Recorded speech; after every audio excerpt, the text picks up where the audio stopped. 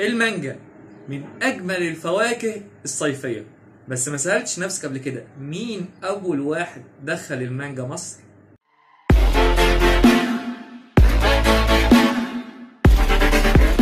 السلام عليكم ورحمة الله وبركاته. أهلا بكم.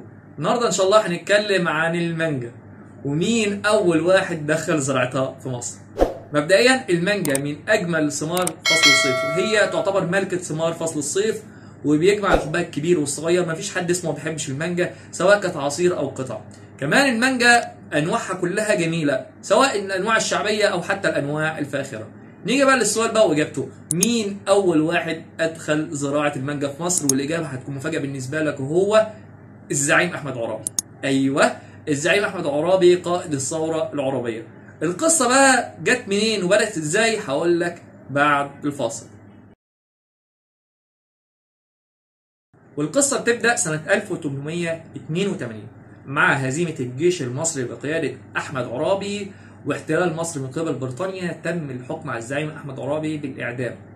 وتخفف الحكم للنفي لجزيرة سيلان اللي كانت تبع دولة سريلانكا. دولة سريلانكا كانت هي أخرى تحت الاحتلال البريطاني وبالفعل الزعيم أحمد عرابي ورفاقه تم نفيهم للجزيرة لمدة 20 سنة. لما الزعيم أحمد عرابي اتنفى في جزيرة سيلان كان الشعب في جزيرة سيلان متعاطف معاه جدا وكان بيحبه لأن ببساطة العدو المشترك بينهم هم الإنجليز. ونتج عن كده إن تعايش معاهم وتزوج من امرأة من جزيرة سيلان وأنجب منها 8 أبناء أربعة ذكور وأربعة إناث بنى مسجد ومدرسة لتعليم اللغة العربية والإسلام وأسلم على إيديه ناس كتير.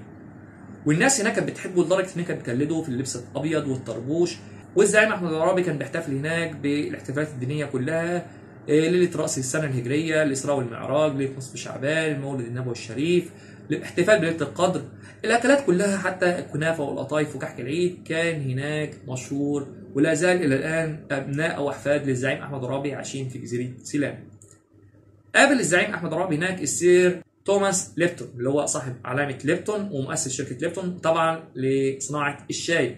جزيرة سيلان كانت مشهورة بزراعة الشاي وحتى إن هو بعت لمصر الشاي وانتشر في مصر. قابل كمان ثمرة لذيذة جدا اسمها المانجا. المانجا على فكرة هي مشهورة جدا في الهند وجزيرة سيلان قريبة من الهند. عجبته الثمرة وحب إن هو يهديها لأحمد باشا المنشاوي صديقه وده صاحب أطيان وأراضي زراعية في مصر في محافظة الغربية. أمده من الثمار أو البذور لثمرة المانجا وتم زراعتها في مصر ونجحت بالفعل وأنتجت ثمار كتير وانتشرت في مصر وبدأ الأعيان أصحاب الأراضي يتنافسوا على استيراد أنواع جديدة لمصر. وبكده يعتبر إن الزعيم أحمد عرابي أول شخص أدخل زراعة المانجا في مصر. لما رجع حتى من نفي سنة 1903 كان معاه شجر لثمار المانجو. زرعها في قريته في مركز القرشية اللي تبع مركز الصنطه في محافظة الغربية والشجرة دي كانت موجودة لحد الآن.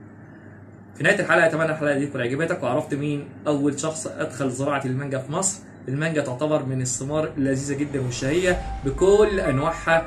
أتمنى الحلقة دي تكون عجبتكم وإن شاء الله في حلقات جديدة. ما تنساش بقى تضغط على زر الإعجاب وتشترك في القناة وتفعل الجرس وتشارك الحلقات واكتب التعليق اللي أنت عايزه. كان معكم بلال نصر والسلام عليكم ورحمة الله وبركاته.